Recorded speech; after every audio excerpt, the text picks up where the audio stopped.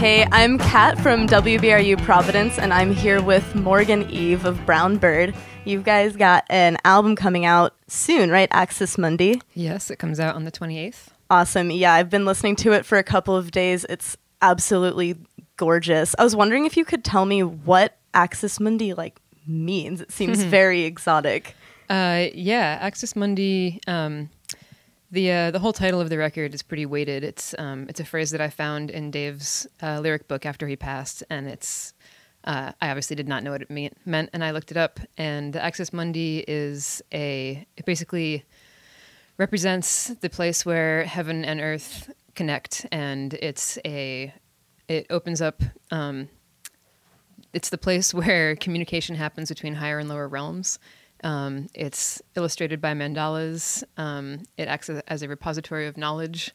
Um, so it's, yeah, it's a pretty uh, heavy title. Yeah, that's that's gorgeous, and I I definitely uh, kind of got those vibes like listening to the album. It seemed like there were a lot of uh, connections being made in that album. I was wondering if you could uh, tell us a little bit about like the process of uh, recording that album. Like, what was that like for you? Uh, it was really difficult.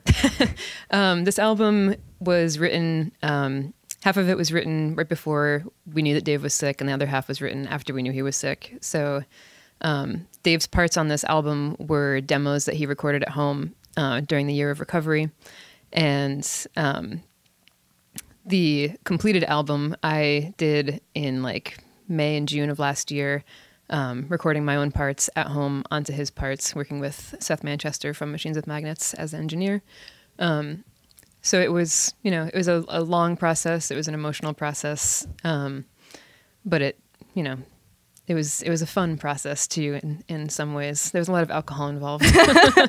yeah, no, I mean sometimes alcohol is just necessary and can like facilitate the creative progress. You know, absolutely. Yeah, and I, I think you I could definitely uh, kind of tell like there there were some songs that sounded a little bit more uh, like a little bit more disjointed than others, and I was mm. wondering if you could uh, maybe just like for my sake because I was just like so into this album listening to it. Uh, tell me a little bit about um, the first track on the album, Focus. Mm-hmm. Can you tell me a little bit more about that song? I just I was like floored by it. I thought it was so beautiful. Thank you. Um, Focus is probably one of the more intense songs on the record. Um, the uh, the decision to have it be the opener was um, my engineer Seth's idea. He was like, "I don't care what you do with this record as long as that is the first song." Like, okay, I guess. And listening back, it was like, well, there's really nowhere else that it would make any sense because it's such a punch in the face. Yeah. um, but yeah, Focus is. Um, I don't know. It's uh, it's hard to talk about really anything on the album without being like, well, it's really emotional. um, but yeah, it's it's a song. We I think we actually wrote it before he was sick, and we um, I don't know. It's just it's you know I'm not really sure what to say about it. it's yeah, no, I mean that's that's totally fine. I was just like, it, I think uh, the decision to make that the opener was definitely a good one. It's like a very like strong start to the album. I yeah, think. we thought so. We wanted to kind of pull people in and and make it clear that this was a album that you really needed to listen to.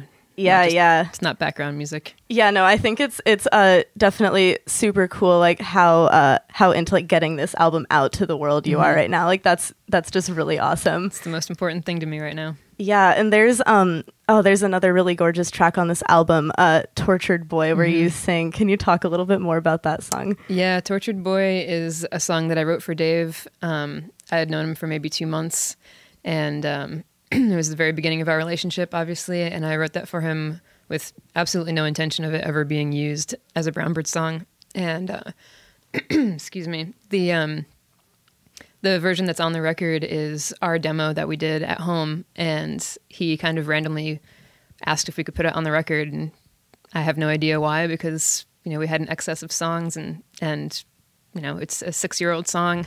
yeah, but like there it um, is. but yeah, but there it is. And it's, you know, it, it totally has its place on this album and it, it's taken on a whole different meaning. And yeah, yeah, yeah, no, it's like, it's really, really gorgeous. Thank you. Um, so, so now you're kind of, uh, going, you're going on tour now, aren't you? With, uh, with the Devil Makes Three. Yeah, I actually just came home from tour with them. Oh, but I've, okay. I've been touring with them quite a bit uh, since January. Yeah, that's awesome. How was it? It's awesome. It was great. We just got back from Europe. We were there for four weeks. It was, you know, super fun.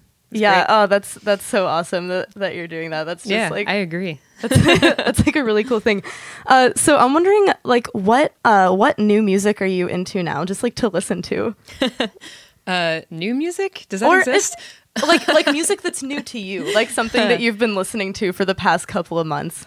Um, uh, the last couple of months. Um, you know, the stuff that I've really been into mostly is um, uh, a lot of post metal. I listen to a lot of ISIS and Pelican and Russian Circles.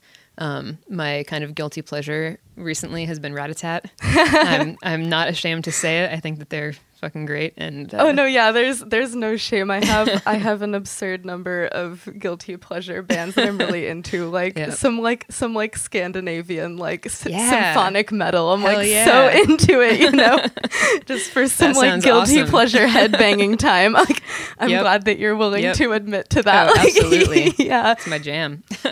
yeah, yeah. No, that's super awesome. Um, is there is there like anything else that you want to get out there about this album? Um, you know, I just I know I want our story to be out there. I want people to hear this record, whether they know our story or not. I'm hoping that you know it speaks for itself, regardless of the history and regardless of you know what's been going on in the community. Um, I just want it to be out there and and gaining new fans and and just you know take on a life of its own. Yeah, yeah. I mean, I think that the story uh, can definitely speak for itself, and I think that it, it gives people the the opportunity to kind of create their own story listening to it. Like, I think there's there's definitely a lot of like impactful stuff on Yeah, there. definitely. That's that's what it's supposed to do. Yeah, it's really awesome. Uh, so yeah, Axis Mundi's coming out. You said April twenty April twenty eighth. April Yep. twenty eighth. Definitely check it out. It's awesome. Uh, with WBRU Providence, I'm DJ Cat. Is MorganEve.